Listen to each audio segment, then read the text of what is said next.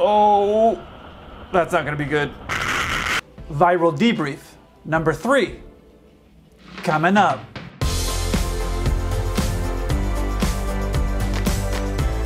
Hey 7-4 crew, welcome back. If you don't know me, my name's Kelsey. I'm a 747 pilot. My channel, 7-4 Gear, is all about aviation. The 7-4 crew has been great about sending me videos to help me keep making the series. Obviously, you're enjoying it. If you have a video that you've seen on YouTube or you've seen online that you want me to cover, the two ways to get them to me now are you can either go into the forum section that I created, which is free for everybody to go into. It's 74gear.com slash forum. You can go there. I'll put a link in the description. Or you can send it to my Instagram. Copy the link, send me a direct message, and let me know when the cool part of the video starts. All right, let's get into it.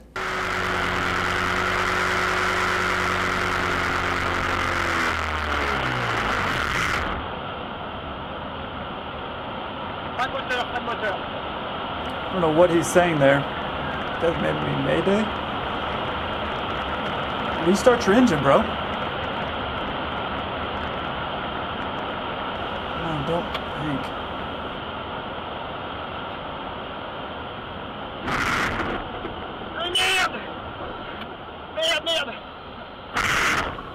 Oh, that's not to be good. I can't see what he's doing here, but I'm hoping that he's using his hands to try to restart the engine. Every plane, big or small, whether you're flying a 747 or a Cessna 152, is going to have a speed that they want you to be at to restart the engine. Obviously, this guy's very low to the ground, so there is not a lot of time here to get that speed and get the engine restarted. You see here, he starts diving towards the ground. Now, I don't know if that's to get the plane on the ground quickly or it's ordered to restart the engine. And I'm, I'm hoping it's to restart the engine, but I can't again see exactly what his hands are doing. The problem is he's trading altitude for speed, meaning if you're going to go down, you're going to speed up. If you're going to go up, you're going to slow down. So he's trading his altitude for speed. By going down very quickly, he's accelerating very quickly. Something else to keep in mind is you see that he's in this bank very low to the ground. You never want to bank like that that low to the ground because if you miscalculate and you clip a wing, the whole plane is going to cartwheel. This isn't like a James Bond movie where you can just rip a wing off and keep flying. You can see here that he's going so fast that when he tries to put it down, the plane doesn't want to land yet. Obviously, a plane, the wing is designed to fly. So if you're going really fast and you hit the ground kind of hard, which it looks like he does here, the plane wants to get back up in the air. You've heard me talk about guys floating. That's because you're going too fast. Or if you're going too fast and you hit the runway, the plane is going to bounce up in the air because the plane wants to fly. Go too fast, the plane wants to fly. Go too slow, you fall out of the sky. So there's kind of an envelope that you're supposed to be within, a range of speed. That's your ideal target you're supposed to get to to land. Again, I realize he lost his engine. That's going to make everybody very nervous, but that's what's happening here. He's going too fast. So as soon as he touches down, the plane wants to get back up in the air again. He had the right idea except for the speed part, to get down on the ground quickly, flat place, look kind of like some crops. So he had the right idea to get in there. Then when he hits and he gets back up in the air, it looks like he pulls up a little bit to get over this tree line. The problem is you notice that he's in a bank. What looks like happens is his left wheel grabs the trees. What happens then is that's going to spin the plane to go sideways instead of forward because that left tire gets gets pulled around. It's kind of like if you stomped on the rudder really, really hard. It's going to just yank the plane around. So now the wings of the plane aren't generating lift, and he's just in a flying tin can going towards the ground as a projectile. The next problem is because he's going sideways, the rudder is not going to have any effectiveness because the wind isn't blowing over it. I can't see what he's doing with his feet, but I'm hoping he's stomping on one of the rudders to try to bring it around so he can land forward. Because if you land sideways like this, it's obviously going to look like this. Anytime you land a plane at a 90 degree angle from the way it was designed, it's never going to end well. So I hope he was okay. There's an old saying I got taught a long time ago, and they said it was from the Red Baron. I don't know if it's true or not, but it's when you have an emergency, the first thing you need to do is wind your watch. Basically, what that means is that when you're in an emergency, don't start flipping switches and doing stuff. Take a second to take in what's going on and analyze the situation in most cases, you have a few seconds to figure out what's happening and analyze the information. If you're just reactionary, you may end up turning off the wrong engine or shutting down something you need or doing something like dive bombing into the ground when you had a lot of other places to go land. For example, this guy in the area, what it looks like, he could have just circled around, slowed down, and lined himself up. Now, again, this is coming from a person that's not in that situation, so it's easy for me to sit back and say, Oh, what I would do would be this. I've never been in a situation where I lost an engine. But We're just breaking down what he could have done. If you learn from the mistakes that other people make, it's going to make you a better pilot. So that's all we're doing here. What he could have done that would have been better would have been find a nice open plain field to land in, slow it down to the appropriate speed, and then just come in and stop there and get in as slow as possible before touching on the ground. Also, landing forward would have been a lot better. Oh yeah, this happened actually in Tampa. I was I was actually in Tampa when, when I saw this on the news.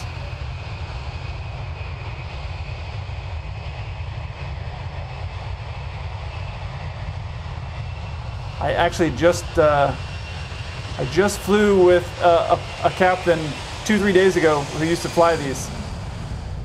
We were talking about it.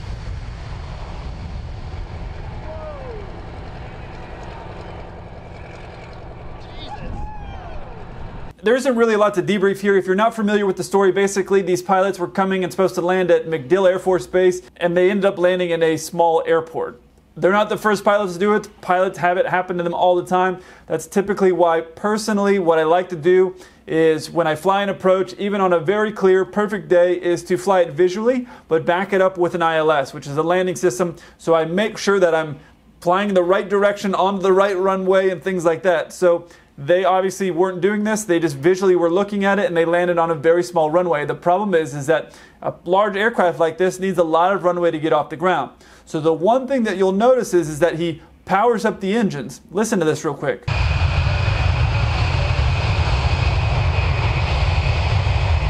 The reason he leaves those engines up before he lets off the brakes is because it's not like a fighter jet. It takes a couple seconds for them to get full power, to get spooled all the way up. And the pilots obviously want to have as much power possible before they actually start the roll. So they let those engines spool up 100% and it's blowing stuff all over because that airport's not set up for a large aircraft like this. But he lets that rev up all the way and then lets the brakes off. They did a great job getting out of there.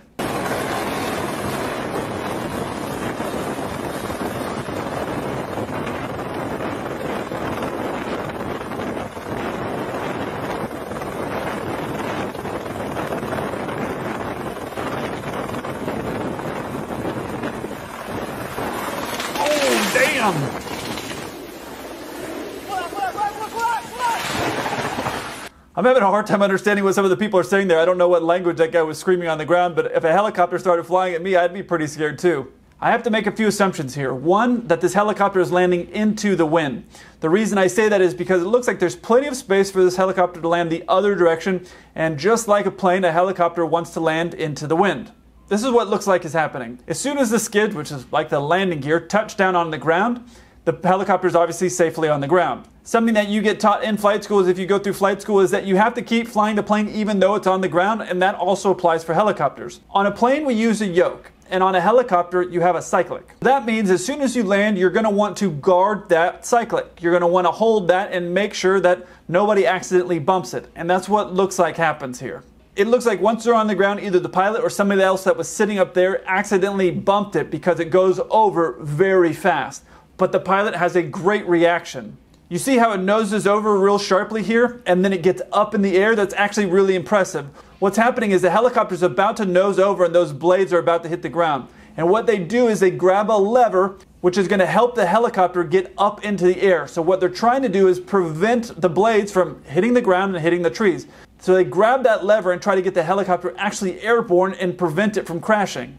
That's some crazy fast reaction. The problem is, as you can see here in this frame, you can see that parts of the trees are already getting chopped up by the blades of the helicopter. Even though the helicopter pilot grabbed that lever, which is called the collective, even though he grabbed that and yanked it to try to get up, he wasn't able to clear the obstacle of those trees.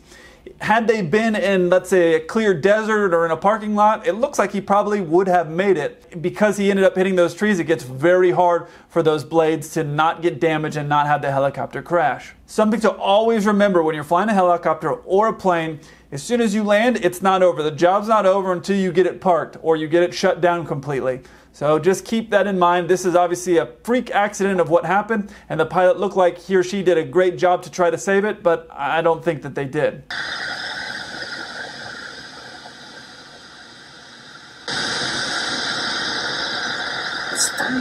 I finally understood what they said. He said stunning.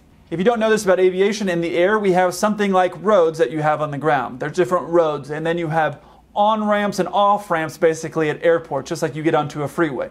So there's going to be these freeways that we're traveling on, and then there's on ramps and off ramps to get to and from airports. Typically, you're not going to ever find yourself stacked up like this, all flying together in one direction, except in one circumstance, and that's flying over the Atlantic Ocean. Now, I don't know that they're flying over the Atlantic Ocean. They could just be in a very congested airspace and all flying together like that, but typically you're not going to have four planes stacked together flying in one direction like that. And the reason I say Atlantic and not the Pacific is the Pacific has a different setup when you fly over it. On the Atlantic, you have a very specific track that you're going to fly on. So you'll have very specific altitudes and things that you're all entering together. It's just got a different set of rules, and that's usually the only time that I'll see multiple planes stacked up. The other thing about this is, is that I'm guessing they're flying west. Again, I'm making a big assumption here, but typically you're going to have a lot of traffic going west in the daytime and east at the nighttime. So usually they'll take off in the morning from Europe, for example, and fly west to the US and land in the daytime. And then in the US, they'll fly back at night, they'll leave at night, fly throughout the night, and get there in the middle of the day.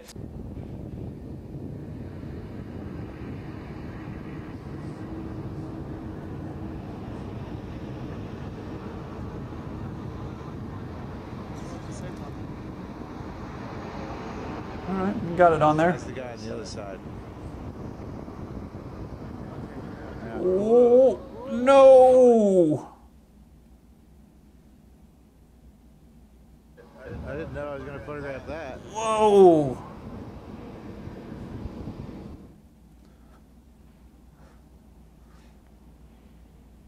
Flaps up. It was kind of funny to me how once he stopped there, he decided to put the flaps up. Like that was the first instinct. Oh, we got to get these flaps up. Like, I'll run our parking spot. We'll just go ahead and pull it in here. Nobody's going to notice what happened. The person who sent this to me asked me, how did the wind blow this plane over? But I don't think it was the wind that blew it over.